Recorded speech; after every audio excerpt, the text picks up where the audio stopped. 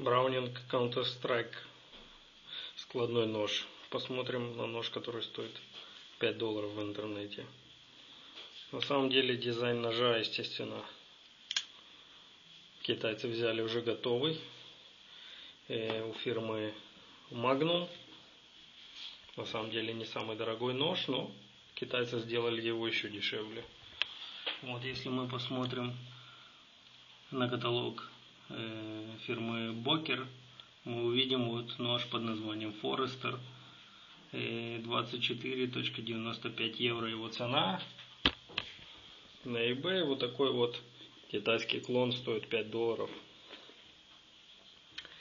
И на самом деле э, я практически уверен, что он ничем не уступает этому магнуму.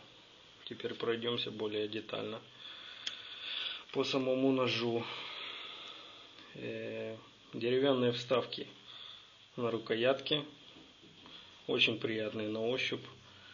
Сам корпус э, ножа алюминиевый, покрыт э, матовой черной краской.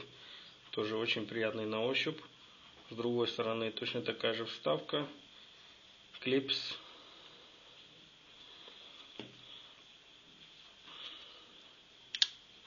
Ручка очень удобная, очень хорошо сидит в руке. Довольно крупная. Выемки для пальцев. Ну, в общем, мы на самом деле Magnum подумали об этом мы уже заранее. Китайцы просто взяли дизайн, поэтому все, что будет хорошего или плохого в этом ноже, то же самое, на самом деле, хорошее и плохое в ноже Forester от Boker. Э,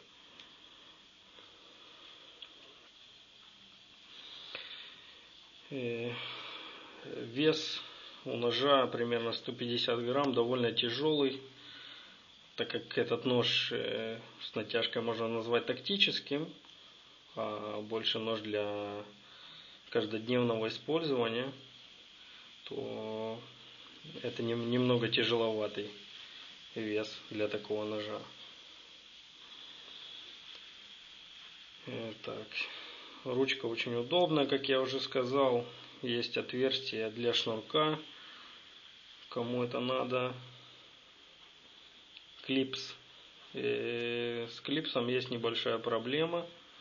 Э, проблема в том, что здесь, вот, э, где заканчивается деревянная накладка, есть небольшая ступенька. Если, скажем, засунуть его в карман джинсов или чего-то, когда шов попадает здесь между этой накладкой и рукоятью, то потом вытащить очень трудно. Оно зацепляется за это дерево и практически невозможно это выдернуть быстро.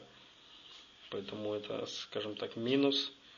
И клипс, естественно, нельзя переставить ни в какое другое место. Только вот так, как он сейчас. Ну, максимум можно совсем его снять и ходить без него, но тогда это тоже не очень удобно. Нож болтается в кармане, переворачивается. В общем, э, клипс удобно носить и э, за поясом или там, где нету каких-то маленьких швов, которые могут вот тут вот зацепиться. Это нужно знать. Э, так, теперь вот здесь вот снизу есть очень хороший упор для указательного пальца э, никогда не соскочит. Но сверху совершенно гладкая поверхность, никаких зазубрин, ничего.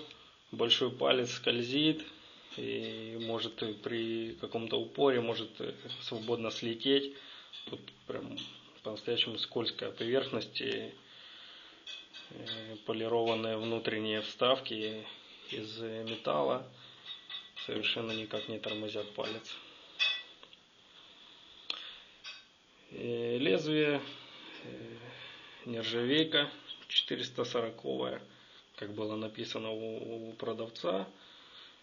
И нож э, очень хорошо заточен, очень острый, э, не надо было его точить, ничего, то есть это было очень приятно. Заточка обычная, Э, гладкие спуски. В общем, довольно, довольно стандартное лезвие. Опять же, то есть было продумано фирмой Magnum, как обычный нож для каждодневной носки, и что сделано хорошо.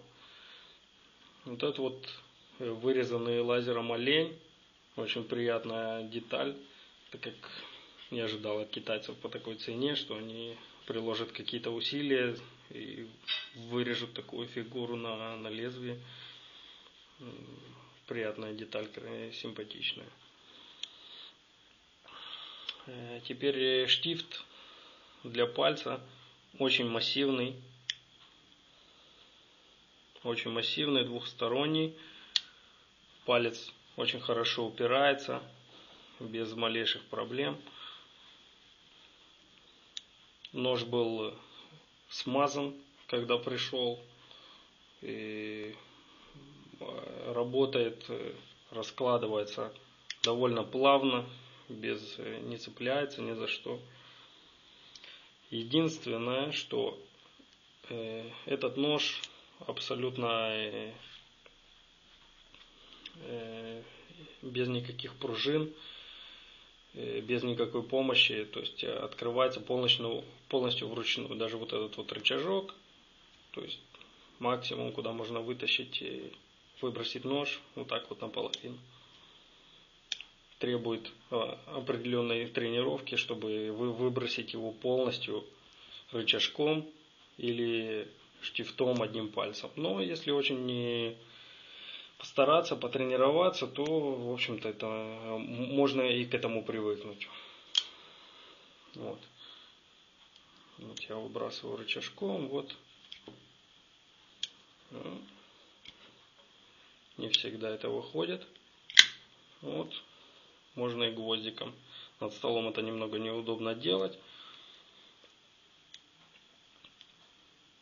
Вот такой ножик. И посмотрим опять на рукоять. И задняя часть рукояти совершенно не закрыта. То есть, э, что очень удобно для очистки. Мы видим все, все гвоздики, э, пружину, которая закрывает нож все выполнено очень, очень приятно, очень, так можно сказать, даже добротно. Когда держишься за эту пружинку, чувствуется сопротивление и, и очень удобно вот это вот момент, что оно загнуто вот так в бок. Пальцем очень удобно, не трет ничего. И небольшая, небольшой минус. Ну, конечно, нож очень дешевый, поэтому этого не избежать. Немножко есть люфт вправо-влево и вперед-назад тоже. На самом деле, если нож ударить, вот, пружина очень слабо держит. Вот он складывается. Ну, во время э, работы можно не бояться, так как пружина зажимается пальцем, и никогда не согнется, если мы что-то стругаем или что-то делаем, то ничего не будет, пружина никогда не соскочит. Но если как сама по себе, то она не держит. Вот он складывается, защелкнулся.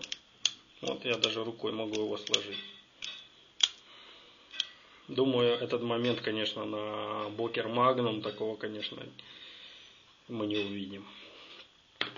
Нож пришел в очень симпатичной коробочке такой. Браунинг ну, естественно, это никакой не браунинг, но коробочка выглядит очень, очень внушающе. Можно даже поверить, что это реальный браунинг. Никаких инструкций, никаких ничего.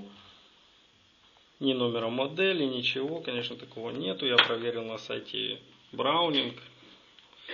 У них никогда не было модели Counter-Strike. У них была модель когда-то давно Counter-Strike 2 которую уже давным-давно не выпускают, и она отдаленно напоминает этот нож. Естественно, этот нож точная копия ножа Бокер Magnum Forester. Ну, за 5 долларов, как я уже сказал, лучшего просто просить и невозможно.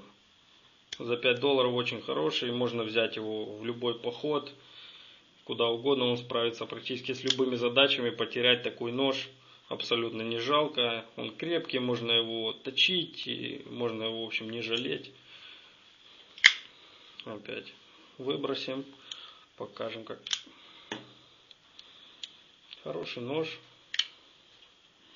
Если будет желание, заходите на eBay, поищите там. Вот, в общем, я остался доволен. Нечего было делать с пятью долларами. И вот появился такой ножичек. Называется Browning Counter-Strike. Спасибо за внимание.